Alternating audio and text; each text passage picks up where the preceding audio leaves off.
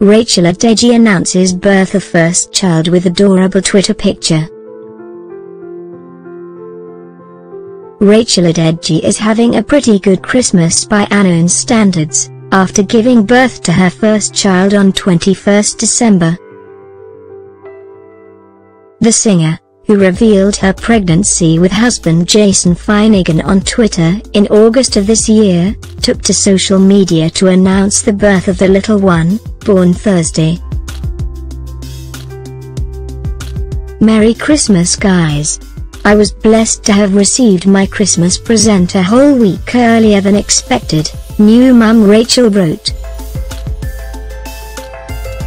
We welcomed baby Deji Finnegan on the 21st of December at 5.38 am weighing a healthy 8 lbs 14 oz. The 26-year-old didn't reveal the sex or the name of the newborn, but did post the cutest pic of its teeny tiny feet poking out from under a knitted blanket. And there were no hints as to the sex of the baby in the pic as baby Adedeji was wearing all grey.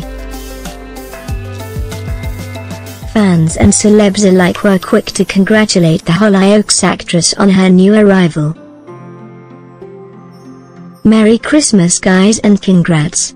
Singer Nick wrote, while fellow Hollyoaks actress Jessica Fox wrote, a congratulations.